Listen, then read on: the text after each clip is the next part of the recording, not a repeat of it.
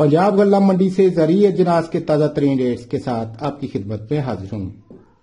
दोस्तों, इस वक्त मूंजी चावल गंदम की मार्केट में ज़बरदस्त तेज़ी का रुझान बना हुआ है। मक्की मार्केट में भी तेज़ी बरकरार है।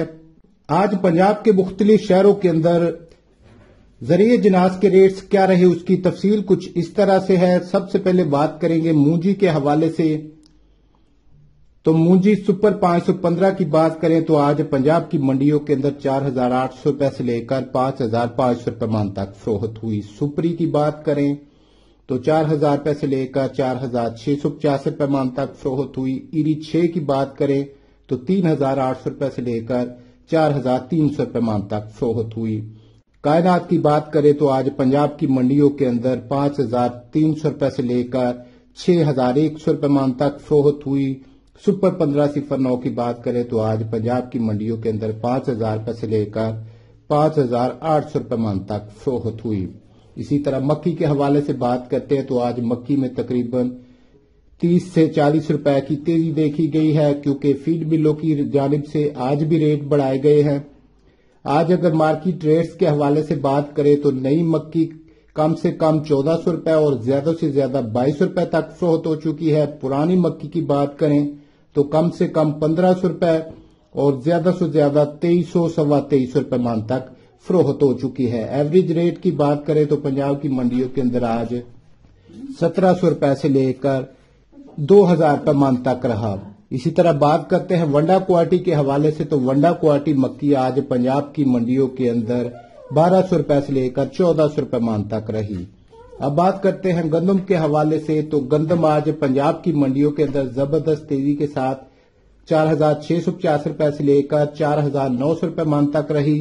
पिंडी इस्लामाबाद में गंदम चार हज़ार नौ सौ पचास रुपए से लेकर पाँच हज़ार रुपए तक फरोहत हुई। लाहौर मार्केट की बात करें तो चक्की क्वालिटी गंदम जो है पाँच हज़ार एक सौ रुपये से लेकर पाँच हज़ार दो सौ रुपये मान तक फरोहत हुई, जबकि ओपन मार्केट के अंदर, पंजाब के अंदर आज गंदम पाँच हज़ार दो सौ रुपये से पाँच हज़ार तीन सौ मान तक फरोहत हुई।